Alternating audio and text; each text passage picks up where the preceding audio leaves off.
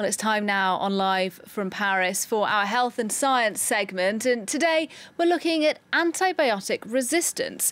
According to a new study published by The Lancet, more than 1.2 million people died from antibiotic resistant infections in 2019. That is hundreds of thousands more than died from malaria or from HIV/AIDS.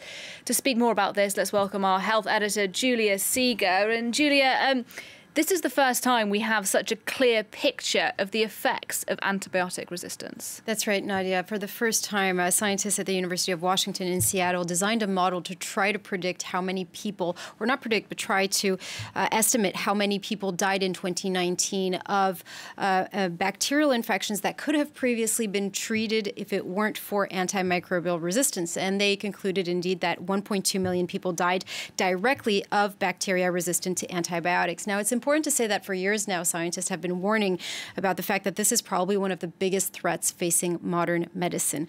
Uh, it affects all regions in the world. The most effective affected regions, uh, though, are sub-Saharan Africa, as uh, you can see on the map, and also uh, Southeast Asia. And the reason why is because of poor hygiene conditions that are going to boost the development of, of those resistant bacteria. But as you can also see on the map, it's also a problem in East and Western Europe and also the United States. And in those countries, it's actually due to an overuse or misuse of antibiotics. As you know, they can work on bacteria but not on viruses. And in those countries, they are still often prescribed against the flu or viral infections. And this is what raises the prospect that what we considered as being common infections, such as sepsis or pneumonia, for instance, today are becoming deadly. To give you an example, in the United States, you have more people that die from staph infections, mm. from Staphylococcus aureus infections, than they do from HIV.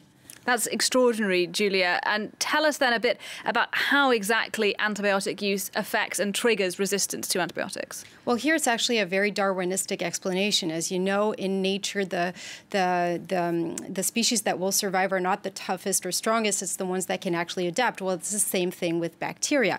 Now, what happens is that in your guts you have different types of uh, germs. So naturally, you have germs that are uh, resistant. Here you can see that are resistant in blue. Uh, to certain antibiotics. You have that naturally. You also have uh, helpful germs that are here to protect you. When you take an antibiotic, what happens is that uh, the uh, germs that are responsible for the infection will be uh, will disappear, but also your helpful germs will also disappear, leaving those uh, those bacteria that are resistant. What happens is the more you take antibiotics, the more they're going to multiply and become dominant.